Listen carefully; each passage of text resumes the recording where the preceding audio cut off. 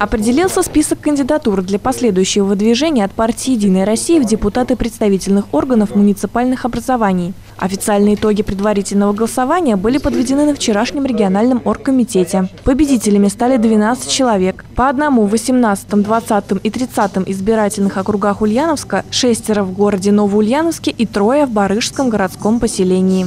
За день голосования официально никаких жалоб э, в Организационный комитет не поступило. Э, соответственно, претензий и фактов для того, чтобы отменять или признавать недействительными итоги предварительного голосования у Организационного комитета нет. Сейчас буквально там 5 минут назад комитет на своем заседании утвердил и подписал итоговые протоколы, э, утверждающие то количество голосов, которые были отданы за того или иного участника предварительного голосования.